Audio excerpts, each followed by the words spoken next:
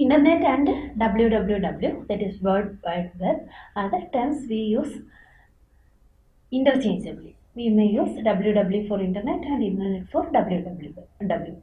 But there is a difference between these two terms. What is the difference? Internet is nothing but a network. So we saw different types of networks, LAN, WAN, MAN, etc. So internet is a WAN, wide area network. It is a network of networks. How it is called network of networks? Here the networks can be different uh, LANs, different uh, WANs, or even PANs, personal area networks. And so that different networks connected together form the internet. so when does this internet came to being? It came to wide use in 1980s. So in 1980s, this internet became popular. So how does this internet works? It will uses address for different uh, systems connected to it and this address are called IP address. Internet protocol address. So using this address like uh, the mail service we are using in the physical world. That each house will be having a unique address. Like that using the address of different devices in the network. This network of network works. Then what is this? Www www is actually a program. It is a program. So it is a software. And it is a software working on this www so this is nothing but a software and internet is essentially hardware. So this software runs on www and it will implement the hypertext protocol.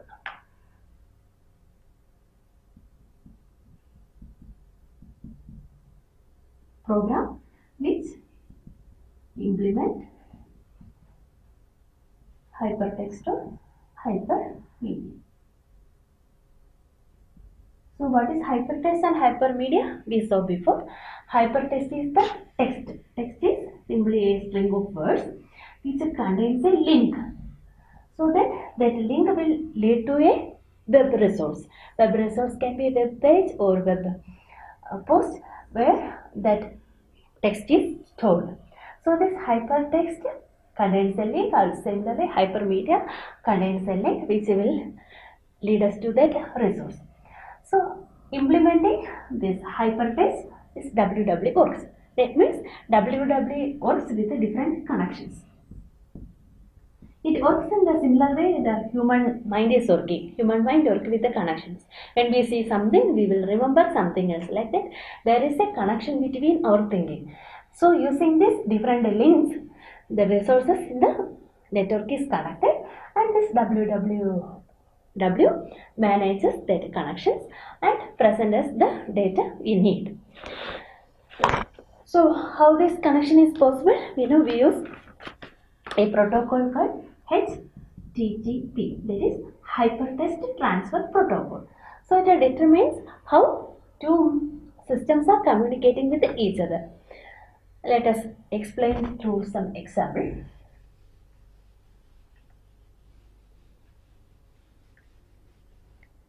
Imagine that you are sitting here with your PC and you are searching for ICT in our website. It is www.ies general studies.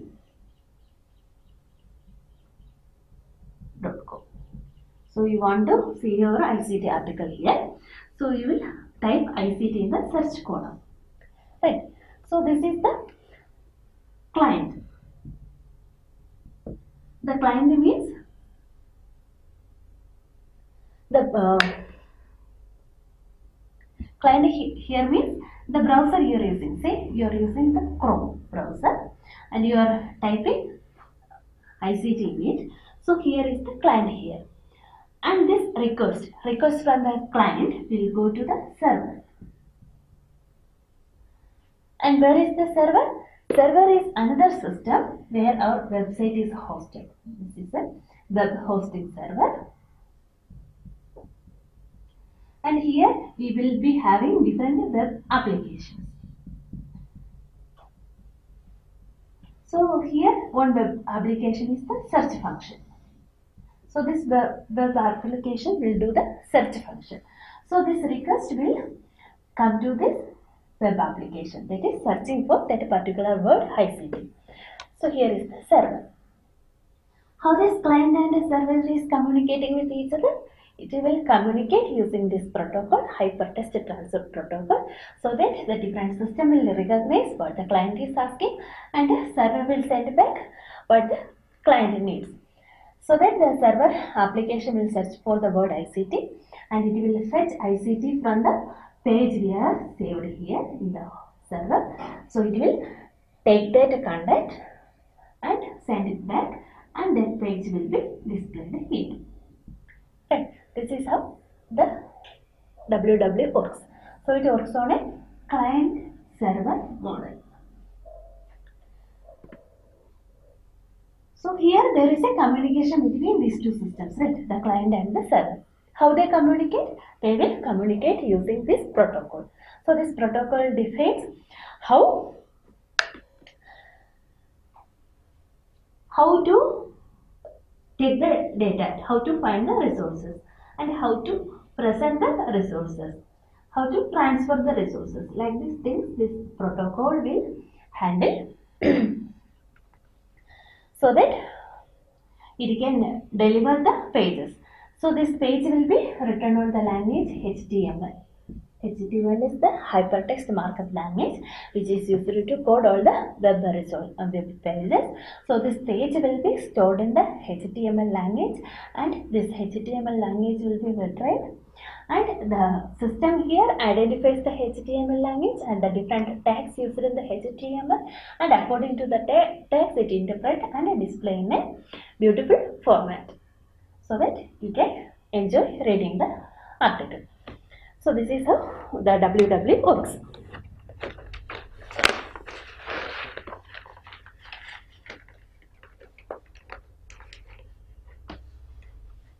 So this HTML can be otherwise called as application protocol.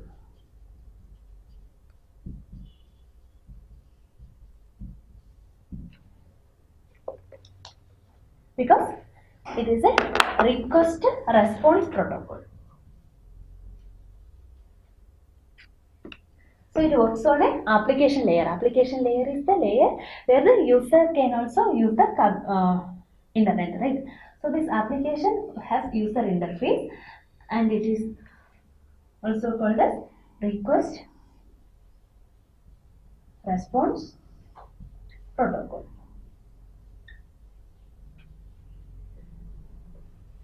So this forms the foundation of the data communication in www. How different data is transferred over the net. So this is the foundation. HTTP is the foundation for data communication in www. So it works on a client server model.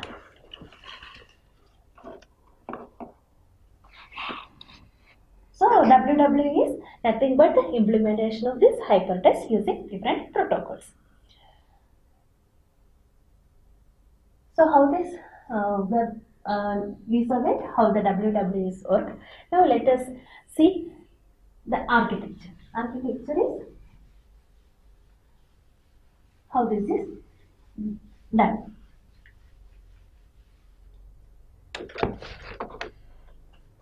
See here we have client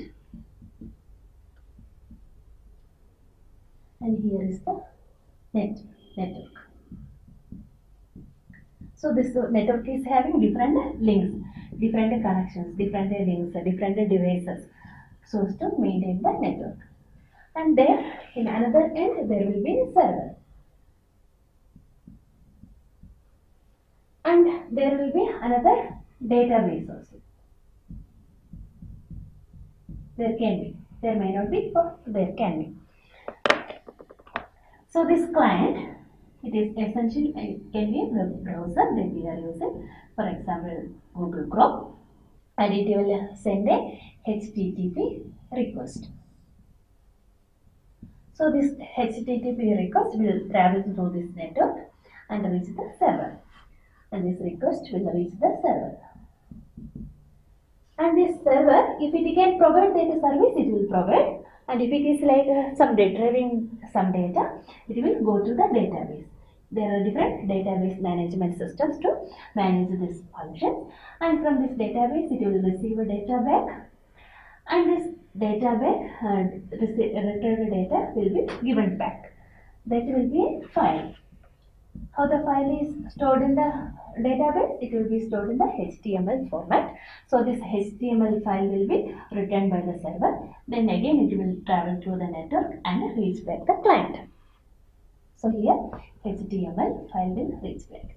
And the client, this browser display the HTML file for the user. So what are the functions of this web browser? So it is a program. The browser is also a program. So what does it do? It uh, displays HTML file to a user readable format.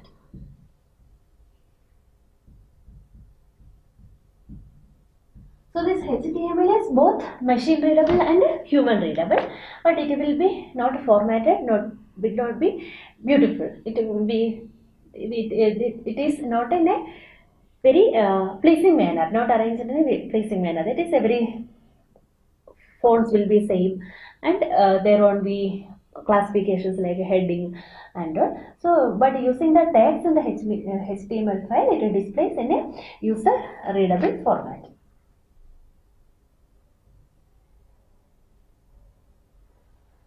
So this is the function of the browser. And what are the other functions? It can execute certain programs also. So for example, if the file itself is embedded with certain programs, what is that we will be having certain JavaScripts, Java scripts embedded within this file so that the web browser can execute the script. So it can be a media or audio um, audio file. So we can hear the voice and we can see the display when the browser executes the JavaScript. Another example is Flash. You will usually see this message, message right you, for asking to install the Flash plugins. So this browser can execute such scripts which is embedded within that text. So what, what are these uh, scripts doing? It can uh, have a visual and audio effect and also it can display animations. So these are the main two functions done by the web browser.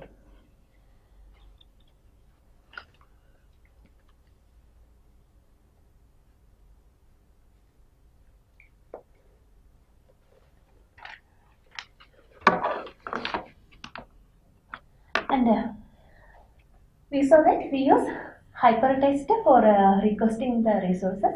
How this hypertext is currently going and locating this resource? So there are different ways of addressing.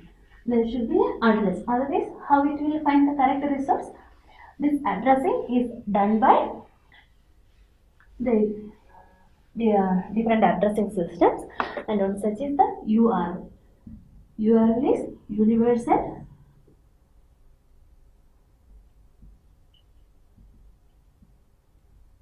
resource locator.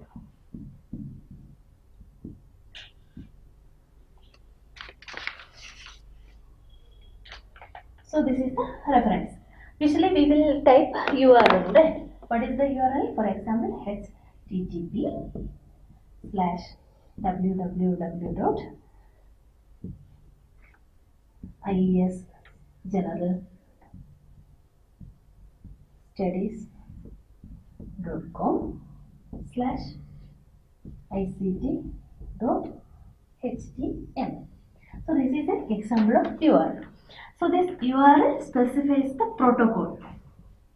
it is the protocol you use to use communicate in the net. So it will indicate the client and the server to which uh, what are the rules you have to follow in the data communication. This is the protocol. And what is this iesgeneralstudies.com? It is the host name. So where this resource is located, it is the name. And what is the we are asking for? We are asking for a particular file, right? We are searching for ICT. So this is the file name you have to retrieve. So this is an URL. So it specifies the location. This uh, specifies the location where it is and it, uh, it is uh, specifies the mechanism how to retrieve the data. You should use this protocol to retrieve the data and so that uh, the web brow- this web services can locate these resources.